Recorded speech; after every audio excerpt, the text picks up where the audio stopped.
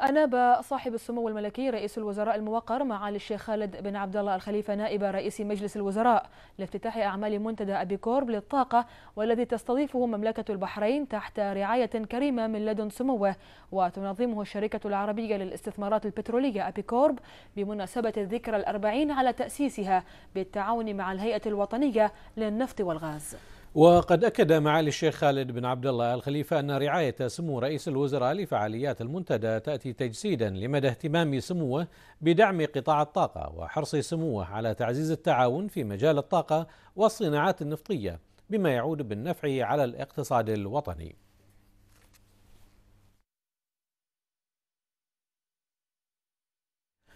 وأشار معاليه إلى أن التحديات الراهنة في مجال الطاقة في ظل التراجع الحاد لأسعار النفط تتطلب تعزيز جهود المسؤولين والمتخصصين في دول مجلس التعاون لتنمية الاستثمارات بالشكل الذي يؤمن اقتصاديات هذه الدول من التقلبات الشديدة في أسعار النفط.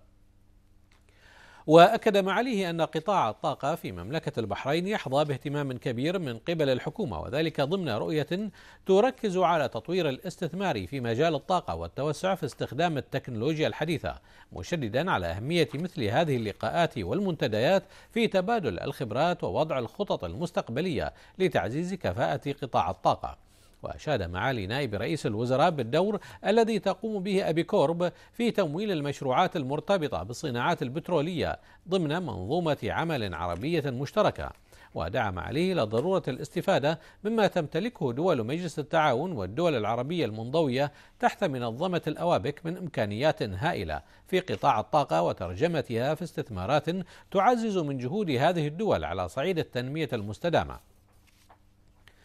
من جانبه أعرب سعادة الدكتور عبد الحسين بن علي ميرزا وزير الطاقة عن خالص الشكر والامتنان لصاحب السمو الملكي رئيس الوزراء على رعاية سموه الكريمة لتدشين إحدى أبرز الفعاليات النفطية في المنطقة.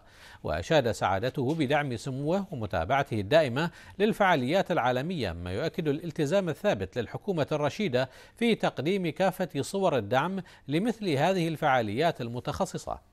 كما توجه الدكتور عابد بن عبد الله السعدون رئيس مجلس إدارة أبي كورب ببالغ الشكر والتقدير لسمو رئيس الوزراء لرعايته المنتدى ولمعالي الشيخ خالد بن عبد الله الخليفة نائب راعي الحفل كما قدم شكره وتقديره للدعم الذي لقيه هذا المنتدى من قبل سعادة وزير الطاقة وما بذلته الهيئة الوطنية للنفط والغاز من جهود كبيرة ساهمت في إنجاح هذا الحدث المهم.